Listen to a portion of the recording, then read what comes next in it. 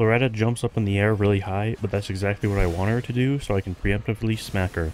The number one thing for this fight is to try and attack right after her melee attacks by getting right behind her. Since my magic defense is so low, getting hit even once by her magic attack is catastrophic, so reacting properly is the only chance I have. Unfortunately that means there's very few chances to attack because she loves using her magic. The fight repeats the exact same way of waiting for her melee attack, dodging her magic, and doing it all over again. Now, when I see her health get this low, I know she's scripted to do her double monkey magic attack or whatever, so I can confidently get multiple hits in while she prepares it all.